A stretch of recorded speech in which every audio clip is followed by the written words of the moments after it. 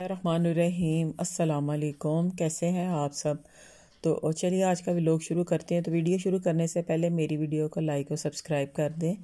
तो फ्रेंड्स आज का मेरा व्लॉग जो है, ये मैं बना रही हूँ दोपहर को ये बैंगन के पकोड़े, क्योंकि आज मैं खाना नहीं मैंने बनाया।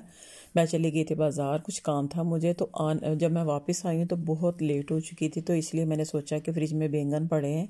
तो मैं उन्हीं को निकाल के फ्राई कर लेती तो सबसे पहले बैंगन को काट कर मैंने उसके ऊपर नमक और मिर्च मैंने छिड़क के उसको रख दिया और बेसन को मैंने लहदा से इसका बैटर मैंने बना लिया इसमें नमक, मिर्च, ज़ीरा और सूखा धनिया डालकर इसको इसका मैंने घोल बना लिया और इसमें बैंगन डिप कर करके मैं फ्राई करती जा रही हूँ। तो ये यकीन माने इतने मज़ेदार ये बने थे। इसके साथ रोटियाँ थी, दही का रायता था। तो ये थे आज मेरी दोपहर के खाने की रूटीन खाना जो मैंने बनाया है। तो उसके बाद खाने से फारिग होने के बाद फिर मैंने किचन साफ़ की है ताकि ये देखें किचन साफ़ करके तो मैंने सोचा मैं फिर ही बाहर जाऊँगी और ये अब मैं आके बैठी हूँ और साथ में मैं लेके आई हूँ चाय का एक कप बना के।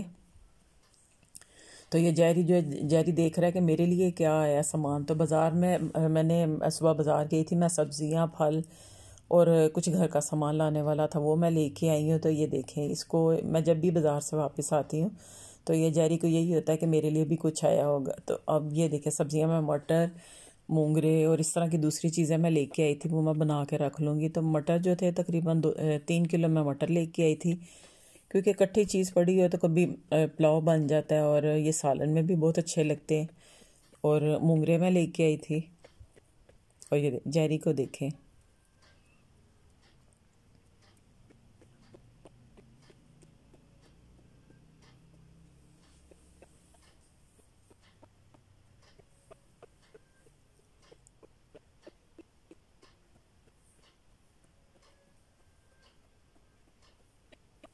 तो बाज़ार से मैं सब्ज़ियाँ और फल वगैरह और ये शक्करगंदी और संघाड़े भी मैं लेके आई हूँ। क्योंकि इस मौसम में, सर्दियों के मौसम में ज़ाहिर ये होती ही सर्दियों में ये चीज़ें तो ये बहुत अच्छी लगती हैं तो मैं वो भी लेके आई हूँ। तो ये देखे मैंने मूंगरे बना लिए हैं तो इसकी भी सब्ज़ियाँ बनाती हूँ या इसके मिक्स वेजिटेबल जो है सालन, इसका बहुत अच्छा लगता है। तो देखे मैं क्या बनाती हूँ तो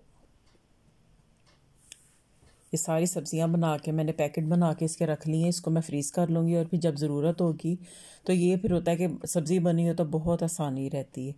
तो इसको मैं फ्रीज़ कर लूँगी। अब ये मैंने पैकेट बना के इसके रख लिए